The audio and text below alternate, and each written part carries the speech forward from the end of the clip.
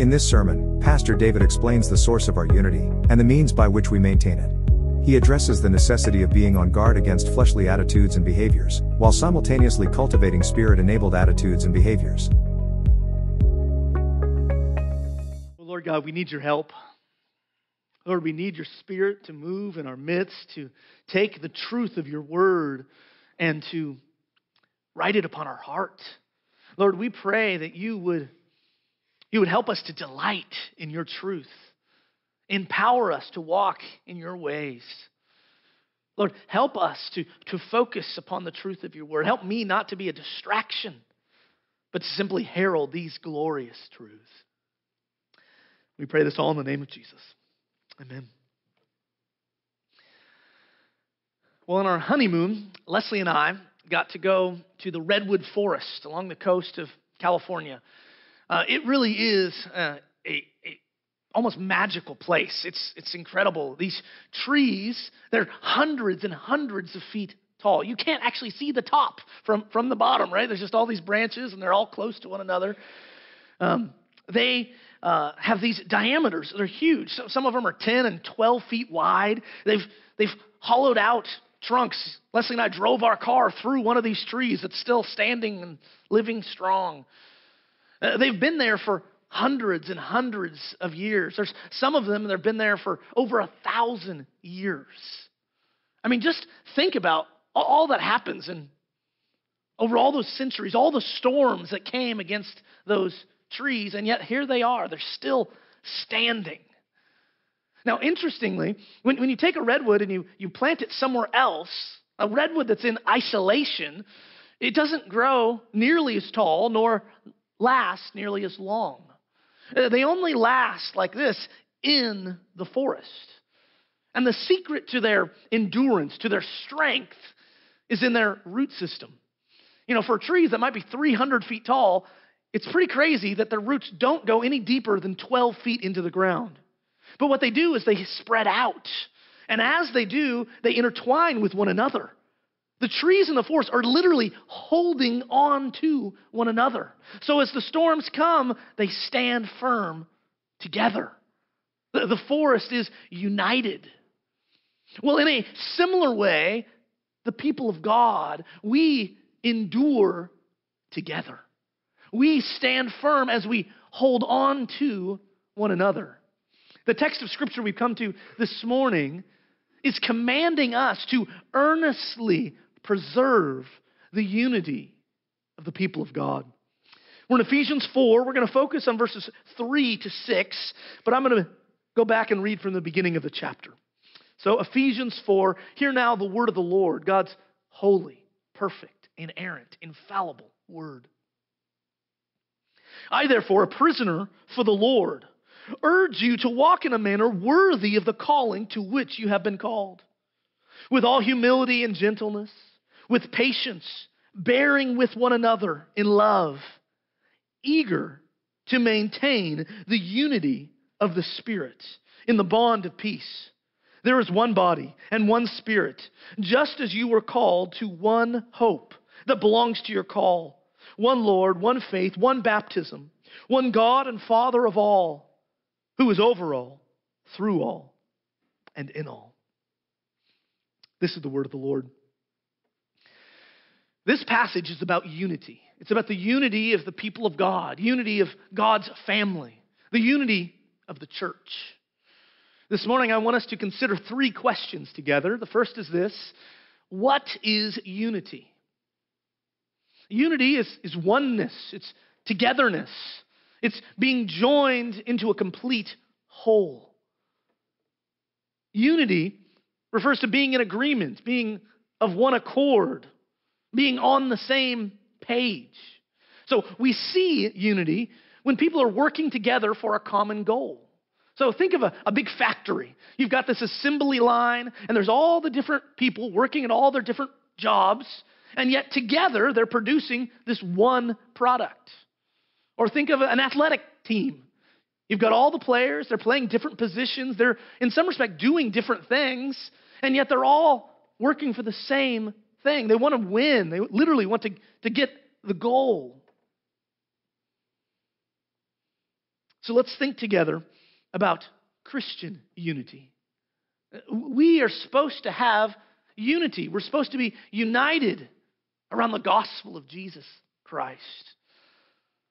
So look there at verse 3, and then let's make an observation together. In verse 3, we're commanded to be eager to maintain the unity of the Spirit in the bond of peace. Notice that we're not commanded to create this unity, we're not to manufacture this unity. We're told that the unity already exists. Our job is simply to maintain that unity. So every true believer is bound to every other true believer. We belong to one another. We are the family of God. And yet, the command here is to, to take good care of that family, to, to preserve it, to maintain it. Our job is to, to keep it together. So there's the first question what is unity? Now, secondly, and we'll spend a long time on this question how do we maintain unity? How do we maintain the unity of the body of Christ? How do we maintain unity in the church? Well, how do you maintain a vehicle? Well, you, you make sure there's enough oil so there's not too much friction. You do various forms of preventative maintenance so that you can keep that vehicle running. Well, our relationships need preventative maintenance, right?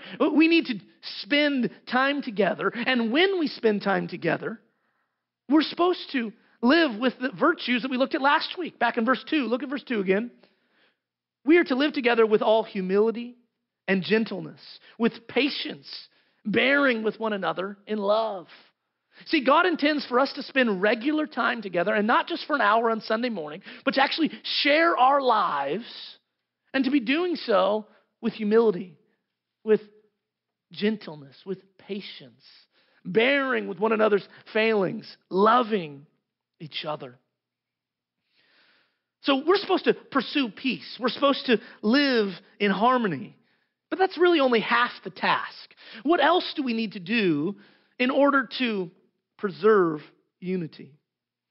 Well, the word here translated as maintain could also be translated preserve, keep, guard. It's translated in, that way various times. And it's really one of these things where you just kind of want it all together. Uh, if you have something valuable, you work hard to protect it. So picture soldiers. They want to protect their fort. So, how do they go about that? What do they do? Well, they keep watch, they guard it with vigilance. We are supposed to guard our unity. We are to keep the unity that we have. We are to preserve it. So, how do we do that? We, we watch out. We keep on guard for anything that would divide us, anything that would separate us. So, there's two ways we preserve unity by seeking to live in harmony and by seeking to avoid that which would separate us, avoiding division. I'm going to go to several different passages this morning to show that this is the consistent teaching of the New Testament. Over and over again, we are called to these twin realities. We are to preserve the unity by seeking unity and by avoiding disunity. So here's 1 Corinthians 10 or 1 Corinthians 1 verse 10. Paul writes, "I appeal to you, brothers, in the name of the Lord Jesus Christ, that all of you agree." So there's the command for unity. All of you agree, and that there be no division among you. He's just saying it both ways. agree with one another and don't disagree. Be unified, don't be separated. He continues, but that all of you be united in the same mind and the same judgment. Or listen to Philippians 2, it was read earlier in the service. Complete my joy by being of the same mind, having the same love, being in full accord, and of one mind. He's basically said the same thing four times. He's telling us to be unified. But then notice what he says next do nothing from selfish ambition or conceit, but in humility count others as more significant than yourselves. Let each of you look not only to his own interest, but also the interest of others. I think what Paul is saying there is simple. unity thrives where pride dies. Right? As long as we are arrogant and focused upon ourselves and concerned with our rights and our agenda and our plans, well, unity can't survive. But when people in humility start putting others before themselves, now the whole can, can press on. We need to avoid selfishness. We need to avoid pride. We need to be careful not to take sides against one another. To say it differently, we need to avoid the works of the flesh. That's how Paul describes it in Galatians 5. Again, he's discussing this issue of Christian unity. Listen to the image he begins with. This is Galatians 5, verse 15.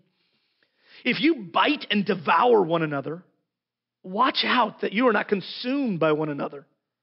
But I say, walk by the Spirit, and you will not gratify the desires of the flesh. For the desires of the flesh are against the Spirit, and the desires of the Spirit are against the flesh. They are opposed to one another. So he begins with this image of cannibals eating one another. And he says, This destroys the unity of the church. We cannot be biting and devouring one another. And then he lists for us what he calls the works of the flesh. It's a long list, but in the midst of the list, there's eight right next to one another. I want to read them for you. So in verse 19, it says this Now the works of the flesh are enmity, strife, jealousy, fits of anger, rivalries, dissensions, divisions, envy. This is a list of things that divide us that separate us. These are things that break us apart. And we've all been involved in each of these things. We've been envious, we've been jealous. There's been times when we've been angry with one another.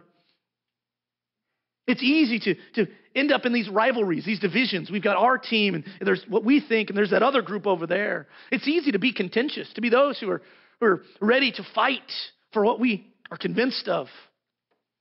But here we're told that these enemies. These works of the flesh, they are the enemies of true unity. We must diligently oppose these sinful actions. So we need to avoid the sins of the flesh, the works of the flesh. But at the same time, he calls us to walk by the Spirit.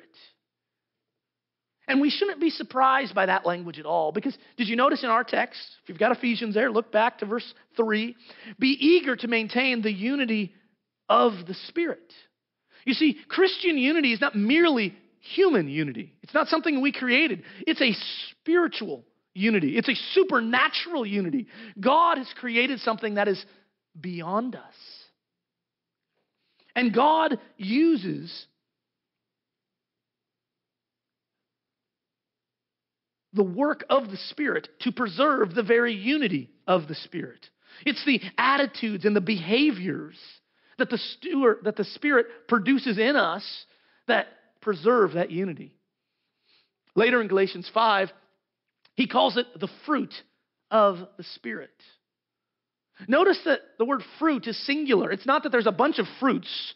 No, it's one fruit that has these different characteristics. All of this is what the Spirit produces in His people. So, Galatians 5, verse 22 the fruit of the Spirit is love, joy, peace, patience, kindness, goodness, faithfulness, gentleness, self control. Oh, what an opposite list. We've seen these things that divide us. And here are loving actions that bind us together, that hold us together. And that list is very similar to the shortened version we have in our passage. So go back to Ephesians 4. In the middle of verse 1, he says, I urge you to walk in a manner worthy of the calling to which you've been called. And here's the list with all humility and gentleness, with patience, bearing with one another in love, eager to maintain the unity of the Spirit in the bond of peace. So, over and over again throughout the New Testament, what we're seeing is that the way that we preserve Christian unity is by being on guard against fleshly attitudes and behaviors while simultaneously cultivating the spirit enabled attitudes and behaviors. There's, there's these two ways to live. We're to forsake one and pursue the other. So, specifically, we're commanded here to walk in humility, with gentleness, with patience. We're to bear with one another in love. So, conversely, that means we are not to walk with one another in pride, in harshness, in impatience, in intolerance, and hatred. Those things must be rejected that we might do the others. Or again, from Galatians, we must reject enmity, strife, jealousy, anger, rivalries, dissensions, divisions, and envy.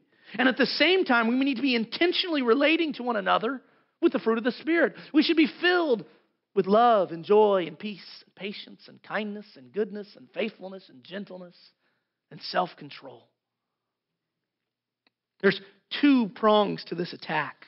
We forsake ungodly attitudes and we embrace godly ones. We put off unrighteousness and we put on righteousness. One more text Colossians 3. He uses this language of put off and put on. In verse 8, he writes this Now you must put them all away. Here's the list of what to be rejected. He says anger, wrath, malice, slander, obscene talk from your mouth. Do not lie to one another, seeing that you have put off the old self with its practices. Now he shows us the second side. And you have put on the new self, which is being renewed in knowledge after the image of its creator. Then he describes our beautiful unity in verse 11. He says, Here there is not Greek or Jew, circumcised or uncircumcised, barbarian, Scythian, slave, free, but Christ is all and in all. Uh, what he's saying there is uh, okay, yes, you are still uh, Greek or Jewish or all these different things, and yet those things aren't what really matter. We are one, we're united in the Messiah. So then he continues with what we put on. Verse 12 Put on then, as God's chosen ones, holy and beloved, compassionate hearts kindness, humility, meekness, and patience, bearing with one another. If anyone has a complaint against another, forgiving each other. As the Lord has forgiven you, so you also must forgive. And above all these, put on love, which binds everything together in perfect harmony. So, how do we maintain unity? We do it in two ways by avoiding division and by seeking harmony. In Sunday school, right now, we're studying from a 300 year old book by John Owen. The title is Duties of Christian Fellowship. In that little book, he describes three different kinds of unity and our responsibility towards each. He notes that we must endeavor to preserve unity between individual Christians. Secondly, we must endeavor to preserve unity in the local church. And then, third, we must endeavor to preserve unity, the universal unity between all Christians. So we are commanded to get along with one another, with the church, and with all believers. So I want us to just slow down for a minute and think through what this looks like. So this means that husbands and wives refuse to let their different opinions lead to bitterness and anger. It means that Christians are to give one another the benefit of the doubt. We're not to assume wrong motives. When we've been wrong, we're to forgive one another.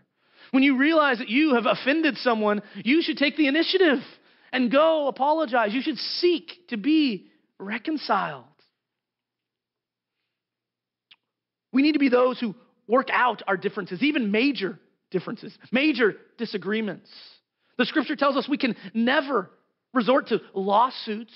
No, we must find a way to work things out between individual Christians. We, we have to get along. We can't just let that argument fester and get worse. No, we must deal with it. Or think about that second category among the church. We need to strive for unity among the local body. So that means that our local church should refuse to be jealous or envious of other churches. Along the same line, we need to be careful not to be prideful, as if we're the only church that's doing things right, as if we can look down upon everyone else.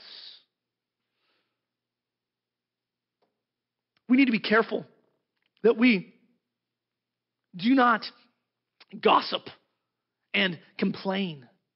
We want to love our church well. And so we have differing opinions, and we need to be able to discuss those with one another. But what we don't need to do is uh, go off into our little groups and start kind of working up a division where now we're against this group over here. No, we, we do these things together. We, we come together, we, we vote on things together, we, we discuss things together. We support the work that's going on here. It means that we're, we're those who, who volunteer, who serve. We, we see a need. We don't just say, yeah, somebody should do something about that. We say, I'm a somebody. I can do something about that. We jump in. We offer aid. We need to seek to get along with individuals, with the local church, and even with others. We should seek, as a church, to cooperate with other churches. We should say, what could we do better together than we can do alone? So, for example, this summer, eight different like minded, gospel focused churches put on kids' camp. That was a wonderful example of Christian unity. Or Good News Club. Uh, this fall, there's going to be volunteers from 15 different churches in our area that are all working together to make the gospel clear to a bunch of children up at the elementary school. Well, what a great example. We should be open to ways that our church can work with other churches for the sake of the gospel of Christ. We want to be those who get along for the glory of God. Not only do we need to maintain this unity, the text is more precise than that. It says that we are to be eager to maintain it. Look again at verse 3. Be eager to maintain the unity of the Spirit and the bond of peace. This means that Christians, we need to be doing everything that we can that this unity would hold together. We need to be striving. We need to be earnest about this. We're, we're longing to see it come to pass. Why? Well, why does he not just say, make sure everything's working? Why does he say, be eager? Well, I think he's telling us to simply imitate Christ. Jesus, the night before he died, he prayed earnestly that our unity would be preserved, that it would endure. In John 17, we have this incredible prayer. He's praying for his disciples, and listen to what he prays. John 17, verse 11 says this I'm no longer in the world, but they are in the world. I am coming to you, Holy Father. Keep them in your name which you have given me, that they may be one, even as we are one. Sometimes a Bible verse just kind of hits you like a two by four. Did you catch what he just asked for? Jesus is earnestly praying that his knucklehead disciples would be characterized by the same unity as the Trinity Father, Son, and Holy Spirit. Their oneness would be shown in the oneness of the people of God. And it's not just the 11, it's not just the disciples. Look down to verse 20. John 17, verse 20. Jesus says, I do not ask for these only, but also for those who will believe in me through their word. So that's us.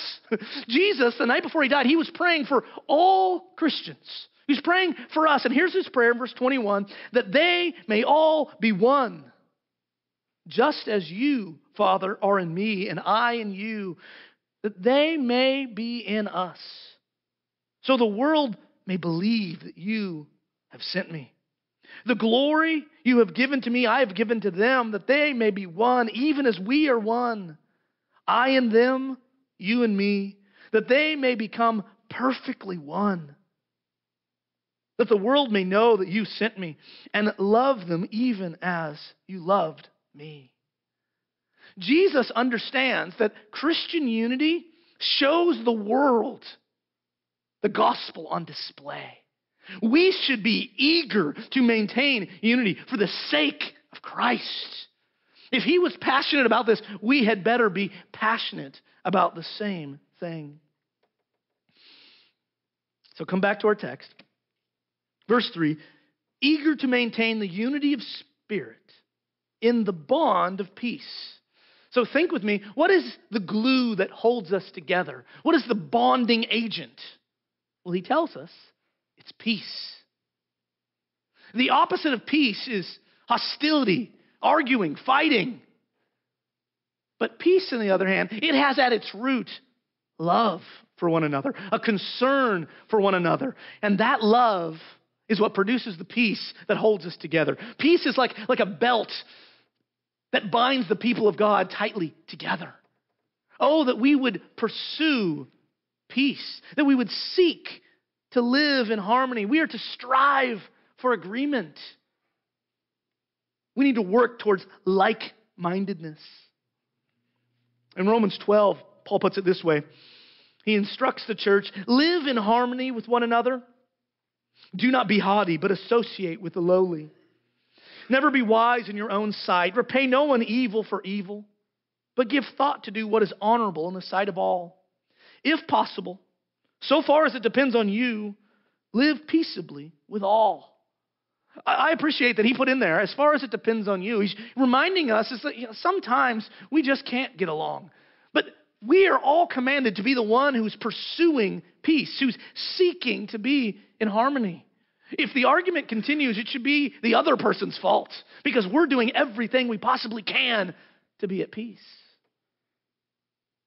Or later in chapter 14, he writes this, verse 19 Let us pursue what makes for peace and for mutual upbuilding.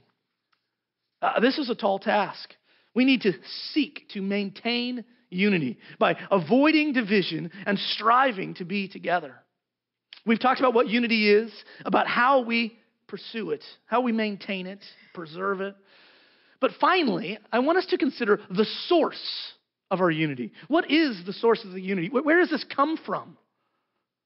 Well, Paul tells us in the next three verses, in rapid fire, he's going to give us seven reasons why this unity must be maintained.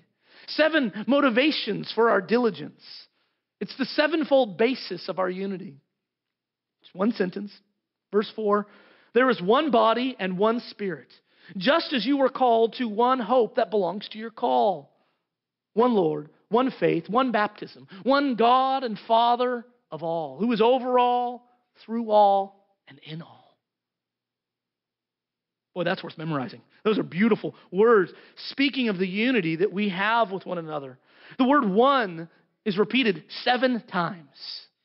So let's consider each in turn. First, there is only one body.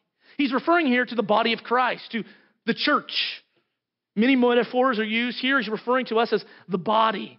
This is a reference not to just a local church, but the universal church. There is one body. This is part of what we celebrate when we take communion. In just a few moments, we're going to take communion together, and we call it communion because we're celebrating the communion of saints. The fact that we are one, we are united because of what Christ has done for us. In 1 Corinthians chapter 10, Paul says this. Verse 16, the cup of blessing that we bless, is it not a participation in the blood of Christ? The bread that we break, is it not a participation in the body of Christ? And then he says this Because there is one bread, we who are many are one body. For we all partake of the one bread. He's pointing us to the symbolism that takes place in communion. When we all share this one bread together, we're reminding ourselves that we are one. We are united in Christ. Again, in chapter 12, he writes this 1 Corinthians 12, verse 12. For just as the body, and here he's just speaking about the human body, he's introducing the metaphor.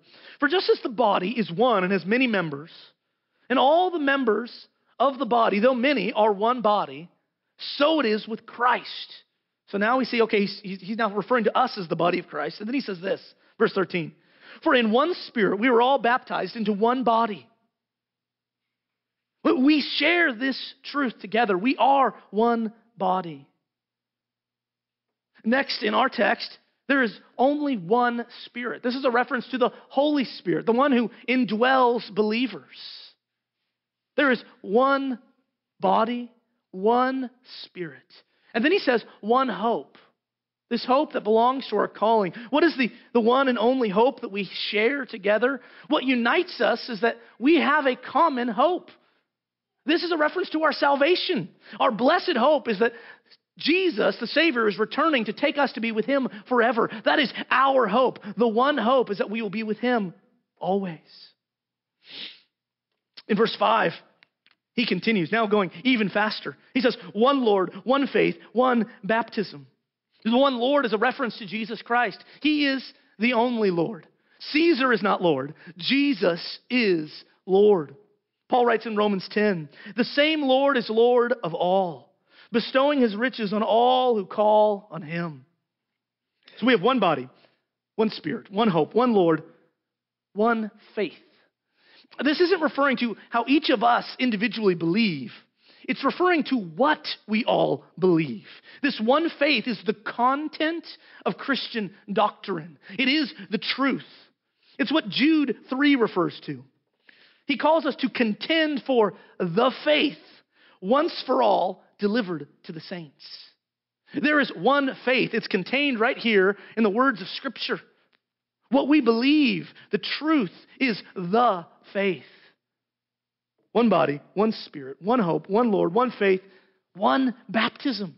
Christians all share in the same initiation rite. People repent and believe, and then they are baptized. This is the sign of, of obedience that we're walking in Jesus.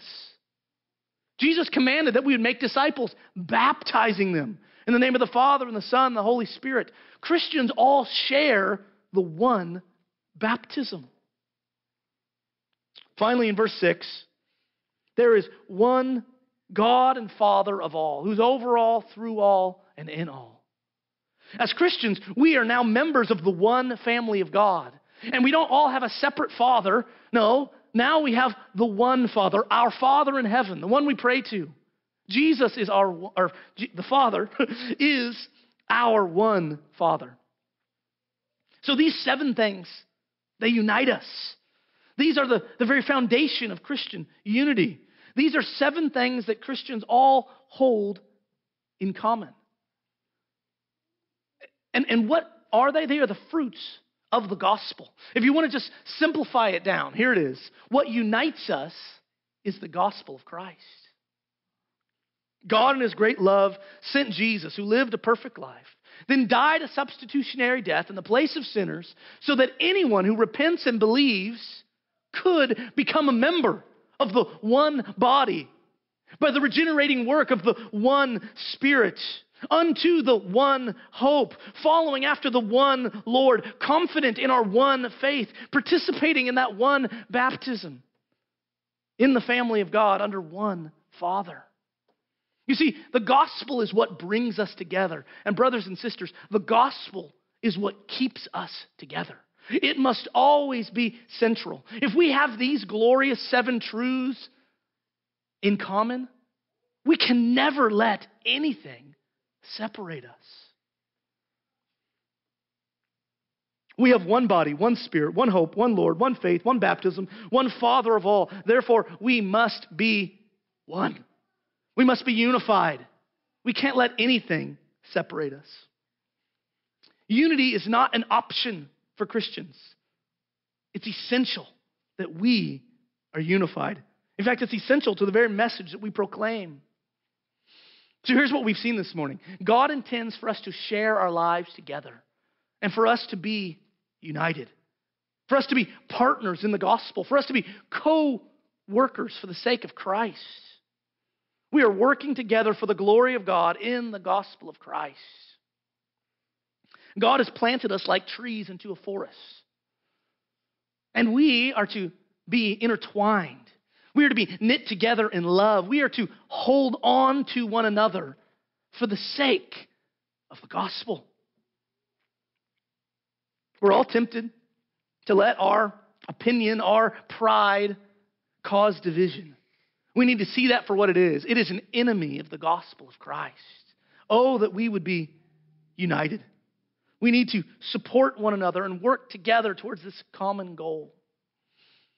So, my prayer for our church is simple Oh, that we would be eager to maintain the unity of the Spirit in the bond of peace. Let me conclude with the words of 2 Corinthians 13 11. Paul, at the end of his letter, writes this Finally, brothers, agree with one another and live in peace, and the God of love and peace will be with you. Let's pray together.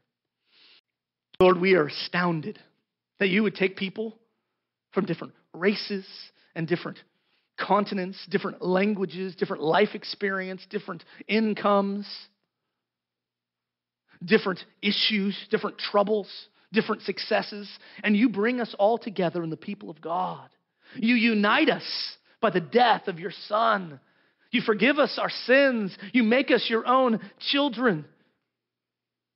Lord, we are so thankful for the unity we have in Christ. Lord, we pray that you would make us zealous, make us eager to preserve that unity. Help us to work hard to maintain Christian unity.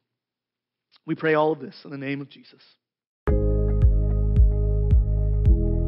As Christians, we must protect our unity by avoiding division and by pursuing peace.